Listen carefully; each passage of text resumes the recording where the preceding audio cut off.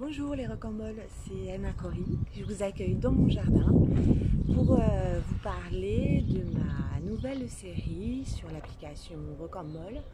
Euh, ma série s'intitule La loi Phoenix et euh, elle sort le 2 avril ou elle est déjà sortie selon que vous ayez déjà vu ou pas la vidéo. la loi Phoenix m'a été inspirée par une émission sur France Inter qui s'appelle Par Jupiter dans laquelle intervient l'excellent Guillaume Meurice qui fait des micro-trottoirs. Et au mois de décembre, euh, il a interviewé des gens dans la rue, dans un quartier, on va dire, plutôt euh, favorisé, aisé, fortuné, euh, sur l'augmentation en fait du SMIC.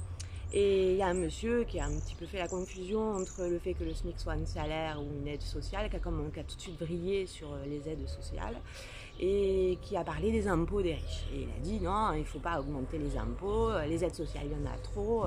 Moi, je serais plutôt favorable à, euh, à ce qu'on mette en place un sponsoring euh, des pauvres, c'est-à-dire chaque riche choisit son pauvre et, il lui file euh, du, pognon, en gros, pour résumer. Et en entendant ça, j'ai d'abord eu envie de vomir. Et en fait, après, je me suis dit, mais pourquoi pas aller jusqu'au bout du modèle de ce monsieur qui est bien pourri et en, faire, en faire une série. Et du coup, euh, l'idée de la loi Phoenix est venue. Euh, ça a donné, en gros, si je vous pitch euh, la série, je me suis projetée en 2030 en France, où on connaîtrait le plus grand taux de pauvreté jamais, jamais observé dans l'ère moderne. Et hum, pour ne pas augmenter les impôts des riches, justement, l'idée serait de mettre en place un sponsoring avec tout un, système de télécrochet, euh, voilà, très, très glauque. Euh, et en fait, les, gens les plus fortunés de France offriraient euh, de l'argent tous les mois aux pauvres qu'ils auraient choisis à travers ce télécrochet. le gouvernement aurait appelé donc ce programme de sponsoring la loi Phoenix. Euh, on va donc suivre les aventures de Zoé, une mère célibataire de 46 ans, un peu abîmée par, euh, la vie, un peu, euh, pas très très joyeuse, on va dire, on peut le comprendre, et qui n'a dans sa vie finalement que son fils Daniel, c'est l'amour de sa vie, elle ne voit que par lui. Mais Zoé, elle a un talent qu'elle ignore complètement parce qu'elle a un petit piano chez elle, elle joue du piano et il s'avère qu'elle est extrêmement douée. Ça, on va le découvrir euh, au fil de la série. Et hum, du coup, en l'écrivant, assez naturellement, j'écris toujours en musique. Et là, je me suis dit, euh, eh ben, je vais choisir un morceau à chaque fois qui va coller avec euh, l'épisode que je suis en train d'écrire. Et j'ai donc choisi des morceaux de piano, essentiellement.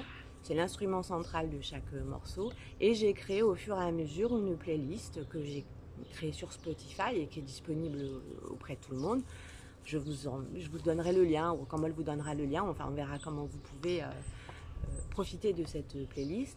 Et hum, l'idée, c'était que chaque morceau corresponde aux émotions et aux tensions de l'épisode. Alors moi, c'est évidemment ce que ça me parle, mais c'est très subjectif. Peut-être que vous, ça vous enverra pas les mêmes émotions. En tout cas, sachez que moi, c'est ce que j'ai ressenti à travers la musique et l'épisode au moment où je l'écrivais. Donc euh, il y a des morceaux qui seront plus longs que l'épisode euh, que vous allez lire. Et après, à vous de choisir, est-ce que vous laissez finir le morceau pour enchaîner l'épisode suivant ou est-ce que vous enchaînez direct et vous ferez selon euh, si, la musique sied à ce que vous lisez en fait. Donc voilà pourquoi j'ai créé cette playlist. Ah, et puis chaque titre d'épisode est associé en fait au morceau correspondant. Donc j'espère que ça va comment dire, augmenter votre plaisir de la lecture de cette série. Et n'hésitez pas à faire des retours sur euh, les réseaux sociaux ou même à travers l'application Rocambole pour dire euh, si ça a augmenté ou pas votre plaisir de, lecture. Voilà, donc je vous dis euh, à bientôt sur l'application Rocambole et d'ici là, je vous souhaite de très belles lectures. Au revoir